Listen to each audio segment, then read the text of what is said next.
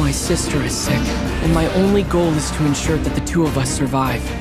I'm tired of this world and everybody in it. I won't just sit around and let you fight while I stay behind.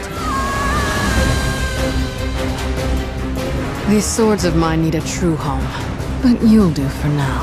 I'm gonna save you! I swear it! This ends now. Let's all make it back alive, okay?